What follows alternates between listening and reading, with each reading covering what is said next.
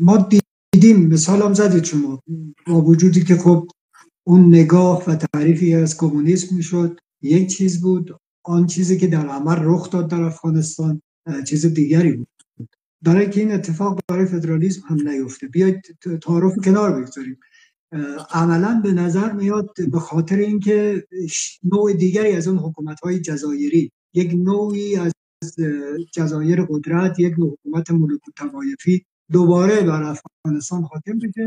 نامهایی که الان داوطلب شدن و جلو آمدن همینطور که گفتید به نظر میاد دوباره می‌خوان اون وضعیت رو احیا بکنن. برای که این خطر در واقع احتمالش کمتر بشه و واقعا مردم به همون حکومت غیر متمرکز برسن باید چیکار کرد که چون به نظر می‌رسه هدف گذاری هدف گذاری خوبی هست. اغلب در افغانستان هم اهداف اهداف خوبی بودن در حوزه تحقق بوده که محقق نمی‌شد. الان برای اینکه این اتفاق رخ بده باید چیکار کرد؟ فکر نمی کنید به نوعی داره از این واژه سوء استفاده میشه؟ صد درصد. من به باور دارم که از این واژه سوء استفاده میشه. دیگه شک وجود نداره.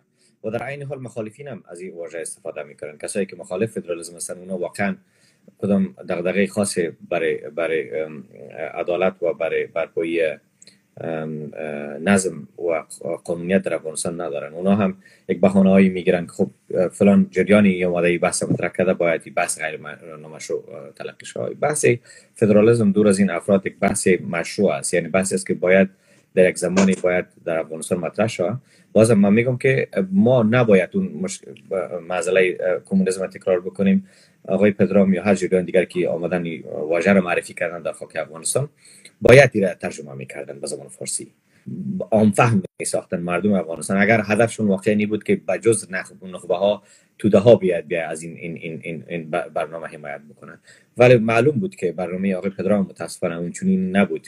آقای پدرام در صدد جلب حمایت نخبه ها بود نه جلب حمایت توده ها وقتی که توده ها از, از سیاست کنار میمونه و سیاست نخبه میار قرار می‌گیره یعنی آقای قنی چی فکر می‌کنه آقای دوستم چی فکر می‌کنه آقای محقق چی فکر می‌کنه این برنامه فدرالیسم به یک بحران میکشونه. در حالی که اینجا باید سیاست مردم مطرح می‌شد نه سیاست نخبه ها نباید اینجا پنشیر محور می بود نباید بلخ محور می بود نه بدخشان محور می بود نه قندهار محور نه هرات محور. اینجا باید محوریت مردم توده ها باید می بود. مردم واقعی افغانستان بچه های معلمین بچه های کسایی که کارگر هستن بچه های مردم های عادی افغانستان که هرگز سهم در سیاست نداشتن یا اجازه برشون مجال برشون مساعد نساختن. همین نخبه ها که اینا بیان در سیاست و حرفشون بزنن. اینطوری نبوده که این بچه های غیر نخبه ها ظرفیتش نداشتن. اینا ظرفیتش نداشتن ولی نخبه ها انحصار کردن. یعنی به نمایندگی از اقوام اومدن هر کدام این نخبه ها یک نحوی برای خانواده هایشان یک نوع سلسله را به وجود آوردن جزیره های را به وجود آوردن که اجازه ندادن در اون منطقه مثلا فرض می‌کنیم بچه های فاریاب کسایی که وابسته و آقای دوستم نبودن در از منطقه فاریاب رشد نکردن در سیاست افغانستان فقط آدم هایی رشد کردن که وابسته به جریان مثلا محقق بوده وابسته به جریان خلیلی بوده وابسته به جریان نمیفهم آقای قانونی بوده یا عبدالله عبدالله بوده و یا یا آقای صالح بوده از بدخشان. آدم هایی که مخالف این جریانات بوده ضرر دیدن در این 20 سال گذشته. از اون لحاظ مهم است که سیاست, سیاست جایگاه سیاست مردم تعریف شود در بحث فدرالیسم که سیاست مردم اینجا چی؟ دهقان اینجا حرفش چی گفته میشه؟ کارگر دکتر یه مشکلی هم که اینجا هست اینه که راجع به این موزاییک قومی به این معنی که شما وقتی صحبت از فدرالیسم می‌کنین خب کتله های قومی هر کدومشون در یک بخش های جغرافیایی تقسیم بندی میشن و شما اونها رو در اون بخش فدرال خودشون به رسمیت می‌شناسید. خیلی بعد موزاییک های قومی چی میشه؟ یعنی مثلا هزارهای اورازگان که وسط پشتون ها میفتن تاجیک های پکتیا تکلیفشون چی میشه؟ بله. درباره این موضوع فکر شده تو این موضوع؟ بزرگترین مشکلی که ما با طرحهایی که تا به حال مطرح شده داشتیم همین بوده که بزرگوارایی که آمدن این طرحها رو مطرح کردن اصلا اطلاعات دقیق در رابطه با بافت جمعیتی مردم خراسان افغانستان نداشتن. اینا نمی‌فهمند که در قندهار هم تاجیک است در در در زابل هم تاجیک است. در در متن بامیان هم تاجیک است. در در در کندوز هم هزاره هست. در در کندوز هم پشتون است. در در بغلان هم هزاره است مثلا این این تعریف قرار باشه این یک تعداد مطرح می‌کنن که ما یک هزارستان اینجا می‌سازیم. خب هزارستان برگولی کی می‌خوای بسازی؟ برگولی تاجیک و پشتون می‌خوای بسازی؟ می‌خوای فردا باز اینجا دعواهای دیگر صورت بگیره روی از اینکه مردم در مقابل نام هزارستان بجنگن همون قسمی که در مقابل نام افغانستان جنگیدن همون قسم در مقابل نام ترکستان بجنگن. کجا رو می‌خوای ترکستان بسازی؟ مثلا بلخ تای ترکستان بسازی مردم تاجیک بلخ مثلا اجازه میدن که اینا شما ترکستان بسازین اون منطقه را. مردم فاریاب اجازه میدن که ترکستان بسازین. خب این نام ترکستان نامش مفهومش یک یک در در در ذات خود یک بایست داره. یعنی یک قوم را ارجحیت میده بر قوم دیگری. غیر ترک چی میشه در اونجا؟ غیر هزاره چی میشه در هزارستان؟ خب ما با این با این طرح قومی فدرالی خیلی مشکل دارم. اصلا نمیشه در یک کشور که کلا بافت جمعیتیش چنان با هم گره خورده که ممکن نیست تو یک جغرافیایی را خب در حد دهکده ها میشه فدرالی بکنیم که دهکده ها اختیارشون داشته باشن یا مثلا شهرستان ها اختیارشون داشته باشن که خب هر واحد شهرستانی مثلا پیدا میشه که تنها هزاره باشه تنها تاجیک باشه تنها پشتون باشه ولی در حد یک شهر ما شهری نداریم در افغانستان که مطلق هزاره باشه مطلق پشتون باشه مطلق تاجیک باشه یا مطلق مثلا از یک قوم خاصی باشه. ما باید رعایت بکنیم این اصل را. باید کاری نکنیم که باعث جنجال های بیشتر شود که در فردا اقوام برادر و دوستی هزاره و گیری یک دیگر شود ازبک و تاجیک گریبان یک گیری یک دیگر شود و اونا با هم درگیر شوند بجنگن. به خاطر نام یک شهر به خاطر نام یک قریه به خاطر نام یک نیام یک دهکده و شهرستان. خب این مشکلات را اینا بزرگای ما اصلا توجه نمی‌کنن. اصلا فکر نمی‌کنن که لازم است در رابطه به این مشکلات صحبت شود.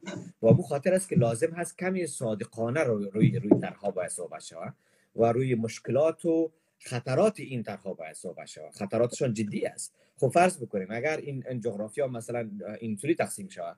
خب نام ترکستان خودش دعوت می‌کنه دولت ازبکستان را که مداخله بکنه به امور ایالت ترکستان دولت ترکیه را دعوت می‌کنه که مداخله بکنه در امور ترکستان. نام هزارستان هم شاید یک تعداد دولت های مثل ترکیه و شاید به یک حد دولت ایران را مثلا تشویق بکنه در مداخله در امور. نام مثلا خوشبختانه قوم تاجیک مثلا نام تاجیکستان را مطرح نکرده. یک یک از خوشبختی های این این بحث فدرالیسم می بوده. اگر فرض بکنیم اگر تاجیکستان جنوبی مطرح شد اینجا یا مثلا ایران غربی شرقی مطرح می شد در اینجا خب یک یک مسئله بزرگ را به اینا به وجود میاد مثلا ما باید از این بحث هایی که در 20 سال یا یا 40 سال 60 سال گذشته در رابطه به نام پشتونستان وجود داشته در رابطه به نام افغانستان وجود داشته باید درس می گرفتیم درس ایره می گرفتیم که هر فکر هیجمونیک اشتباه است ما باید دنبال راه حل باشیم نه دنبال ایجاد کردن مشکل های بیشتر. خب ما یک چتر بزرگ را به نام خراسان از دست دادیم. مشکل راه حل نیست که بریم با طرف چترهای کوچکی که جزیره های تاجیک به وجود بیاریم جزیره هزاره به وجود بیاریم جزیره ازبک به وجود بیاریم جزیره ترکمن به وجود بیاریم. خب در اون جایی که به نام جغرافی ازبک قلم داد میشه در همون جا هم تاجیک ها قوم دوم حساب میشن. در همون جایی که تاجیک ها مثلا قوم اکثریت حساب میشن ازبک ها قوم دوم حساب میشن. خب باید ما با این یک یک یک یک, یک, یک رای حل بهتر باید طرح بکنیم. رای حل بهترش است که ما به طرف نظام غیر متمرکز بریم ولی در محوریت اداری معقولیت اداری و سیاسی نه روی قومیت. مثلا باید این سوال مطرح بکنیم که چقدر معقولیت داره که هرات مثلا یک واحد فدرالی شوند. معقولیت این موضوع را ما باید مطرح بکنیم. یا مثلا یک یک چند ولایت همجوار مثلا در, در شمال کابل اگر به نام کوهستانات دوباره به عنوان یک ایالت مطرح شون این چقدر معقولیت دارن در کدام محوریت باید باشه محوریتش نمی‌تونه قوم باشه چون اقلیت ها ضرر می‌بینن در اونجا. مثلا من باش اطمینان می‌تونم بگم که اقلیت هزاره در کوهستانات ضرر می‌بینه. اقلیت تاجیک در در غزنه و بامیان ضرر می‌بینه. اقلیت پشتون در شمال ضرر می‌بینه. و اقلیت تاجیک در مشرقی و جنوبی ضرر می‌بینه. ما باید طرح را مطرح بکنیم که در اون طرح این پرسش های بسیار مهم جواب داده شود. نه اینکه بگیم خب افغانستان نیمش جنوبی شود نیمش شمالی شود بعدش هر اتفاقی هم که میفته بیفته هر جنگی هم که میفته بیفته. ما این ما نمی‌تونیم با این دیده چی میگه درایی با بحث سیاسی پیش بریم. باید خطرات این این, این را باید با بررسی بگیریم.